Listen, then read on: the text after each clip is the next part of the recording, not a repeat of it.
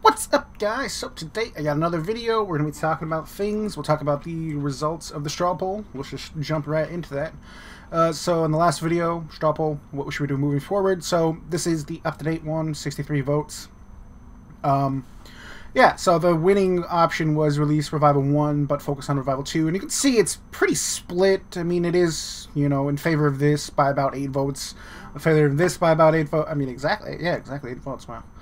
But, um, so, I mean, that's pretty much what we're going to do. We're going to do option, uh, option, it was option 3, but it ended up winning, so now it's the solution 1, I don't know. Release Revival 1 and focus on Revival 2. So, I'll talk about that, and I'll talk about, um, you know, what that means exactly, what we're going to do, concerns, and then solutions for said concerns. So, let's get into that right now. First concern is, is anyone going to play it, right? What is what is the actual long-term ability of it? Is it just a temporary server?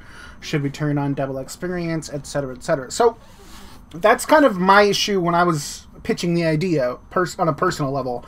I don't. I would never play a server like that. Like, I mean, you know what I mean. Like, if if I knew all everything you guys knew that there was going to be the other server that's eventually going to be the future. In the in, anyways, I probably wouldn't play this server unless unless I just really liked it. I mean, if you really like it, then that's cool. I'm, I appreciate it, but I assume no one really likes the server enough. But we'll see. I, I'm sure we'll have a couple people, but. Um, if there's no future, I can see a lot of people just not even being interested in trying it. Um, likely, what will happen is you'll get a couple people to try it on the first day, maybe 10 or so, and then it drops to zero players with one or two checking in every once in a while to see what's going on. So that's what I want to avoid, um, and you know, let's talk about solutions for that. So the first thing is we're going to start calling it Revival Classic. It is now called Revival Classic as opposed to Revival 1. So uh, it's going to get a little crazy going Revival 1, Revival 2, mixing them up.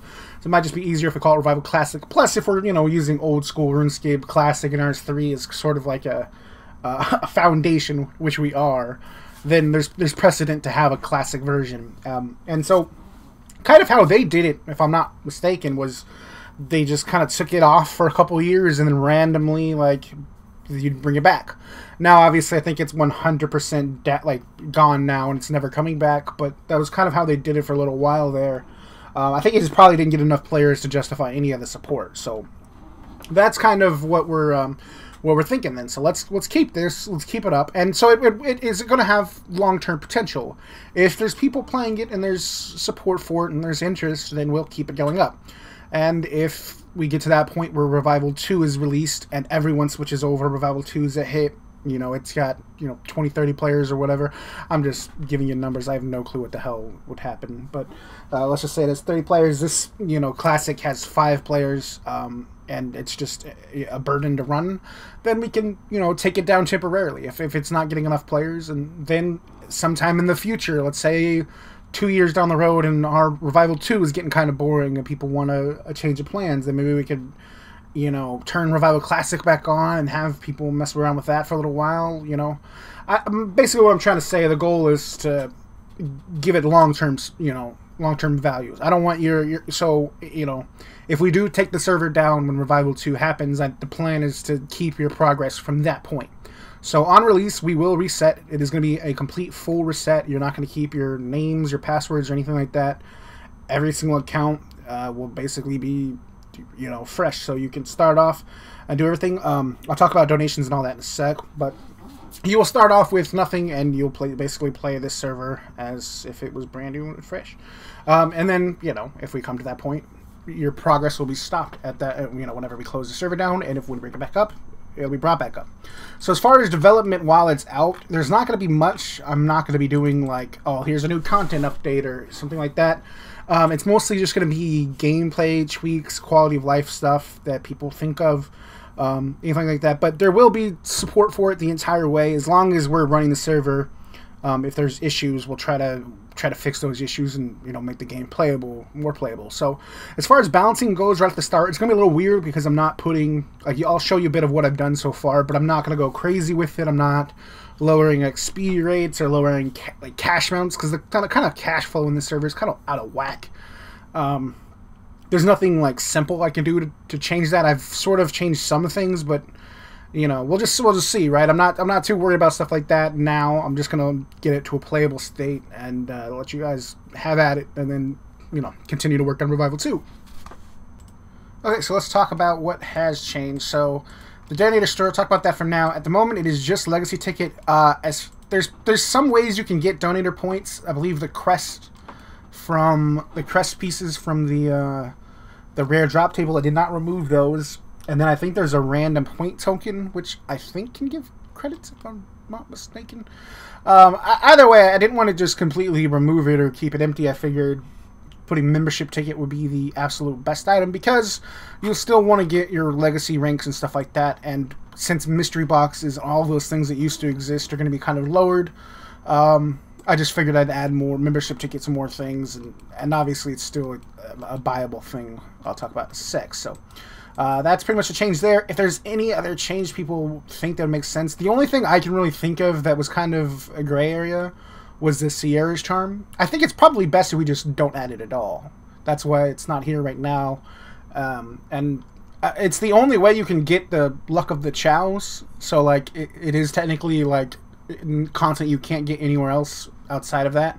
So that's the only thing I'm really thinking about maybe maybe adding it somewhere else, but it's probably better to just not exist at all, especially not now where it kind of is like a mystery box like type thing. And as you'll see in a second, we've removed all those. So trivia shop, a lot of shops kind of kind of suck. Like a lot of the things you would put your money on, there's like I mean, you know what I mean. If you look from this this shop, your trivia points, it's pretty much just going to be the cash reward. This is something we can probably improve on in the future, but I'm not going to do it now.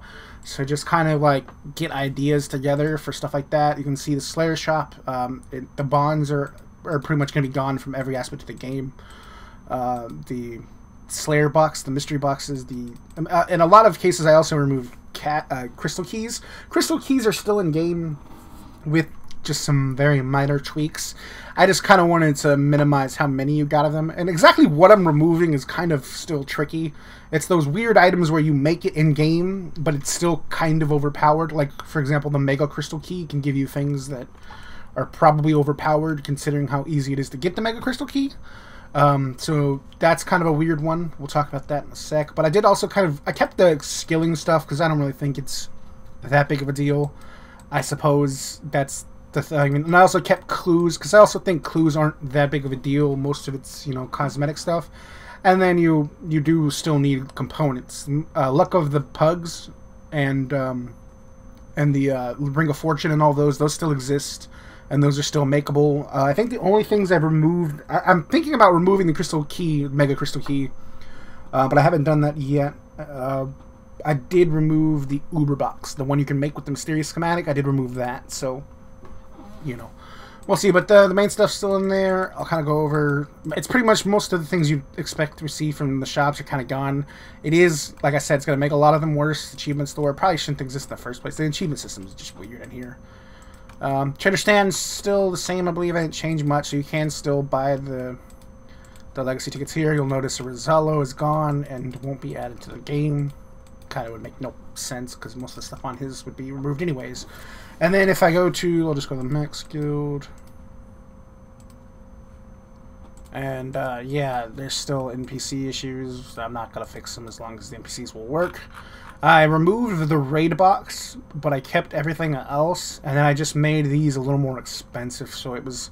So you'll still have something to buy your point, like something to buy with points if you didn't get these, you know what I mean? Because like I assume Vasamasses are going to be less common.